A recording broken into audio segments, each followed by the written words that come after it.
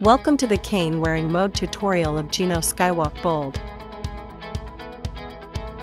Please plug the corresponding parts shown in the video into the charging base. Please make sure your phone's Bluetooth is on. Cane wearing mode needs to be launched in the Gyenno Skywalk app. At first click on the device button, then click on the mode button. Tap I use a cane. Then confirm the cane wearing mode to finish mode selection. These are all the straps needed to wear in the cane mode. First, take out the cane strap. Please follow the video instructions to wear the cane strap correctly. Pick up the laser emitter with green indicator and insert it into the slot on the cane strap.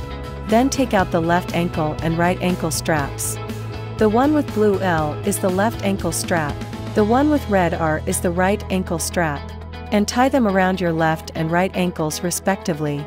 Make sure that the two device buckles are positioned on the outside of your ankles and facing the same direction as shown in the video. Remove two data collectors from the charging base. The one marked with L is the left foot data collector. The one marked with R is the right foot data collector. Insert the data collectors into the slots on the left and right ankle straps according to the mark letters. Make sure the arrows on the data collectors are pointing forward after inserting them into the slots. Remove the fully charged AI center from the charging base. You can wrap it around the strap loop at the bottom of the AI center. Insert the earphone into the 3.5mm socket on the AI center, then put on the earphone. There are two daily wearing methods for the AI center. Wear it on the wrist, or put it in your pocket. Press the power button on the AI Center to activate the laser line. After activating, you can see the visual cue, the laser auxiliary line on the ground. Make sure to avoid direct exposure of the laser to your eyes. At the same time, you can hear the auditory cue, the rhythmic tick-tock sound from the earphone.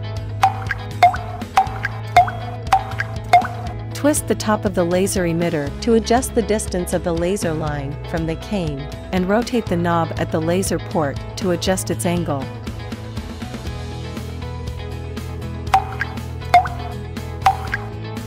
Thank you for watching the cane wearing mode tutorial of Gyenno Skywalk Bold. Now go take a walk.